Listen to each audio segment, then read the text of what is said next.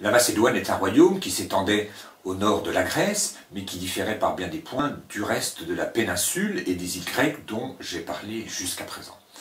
En effet, c'est un pays de montagnes enneigées, et puis de forêts épaisses et de pâturages verdoyants. Et surtout, au départ, c'est un royaume qui n'est pas au bord de la mer, qui n'est pas du tout tourné vers la mer, comme les cités grecques dont j'ai parlé.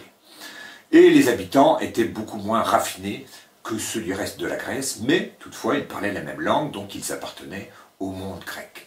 Et au milieu du IVe siècle avant Jésus-Christ, le roi de Macédoine, Philippe II, il y avait toute une série de rois de Macédoine, dont on connaît les noms, on n'en sait pas grand-chose de plus, et Philippe II, lui, constitua une forte armée faite de phalanges. Alors les phalanges, vous savez que les Grecs, euh, les hoplites grecs, savaient manœuvrer pendant les batailles, ce qui donnait beaucoup de force à leur armée contre les Perses quand ils étaient confrontés à des armées beaucoup plus nombreuses, ils savaient combattre coude à coude, se protéger l'un l'autre, et ainsi de suite.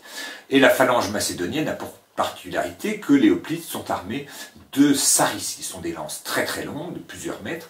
Ils peuvent combattre sur huit rangs et offrir ainsi un front hérissé de pointes de lance, redoutable pour l'adversaire. Et comme ces lances sont difficiles à manier, tout cela demande un entraînement poussé et efficace. Et si Philippe II a constitué cette armée, ça n'est pas pour faire joli, c'est parce qu'il désirait étendre son royaume vers le sud. La Macédoine s'était étendue jusqu'à la mer, et lui, il veut s'étendre tout le long de la côte de la Méditerranée et de la mer Égée. Et c'est ce qu'il va faire. Et devant cette menace macédonienne, eh bien, un grand orateur grec du nom de Démosthène, vous savez que les Grecs, ils savent bien causer, eh bien, Démosthène prononça des grands discours patriotiques pour inciter les Grecs à résister aux Macédoniens si bien que Thèbes et Athènes, touchés par ces belles paroles, oublièrent leur querelle et s'allièrent.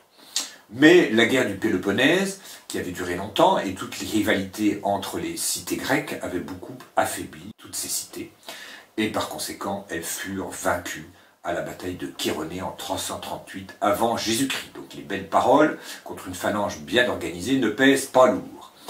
Et puis à force de disputer entre soi, on finit par décliner que ça vous serve de leçon et Philippe II de Macédoine imposa ainsi sa domination à la Grèce, en unissant une grande partie des cités grecques dans la Ligue de Corinthe.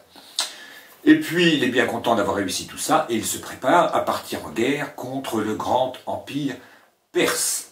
Mais il meurt assassiné en 336, ce qui prouve bien que tout ça, bien que glorieux, ne plaisait pas à tout le monde. Et il laissait un fils euh, qui s'appelait Alexandre et qui n'avait que 20 ans, et qui avait la particularité d'avoir eu pour précepteur Aristote. Et ce fils, comme c'est un bon fils, eh bien, il veut faire comme papa, et il désire lui aussi partir à la conquête de la Perse. Et en 334, il franchit l'Hellespont, qui sépare donc l'Europe de l'Asie, à la tête d'une armée de 35 000 hommes. Alors 35 000 hommes, c'est pas beaucoup, en fait, c'est pas une très grosse armée. Mais elle est bien organisée. Et il pénètre en Anatolie. C'est le début de ses grandes conquêtes. Je me demande s'il va réussir à conquérir un empire. Le suspense est à son comble.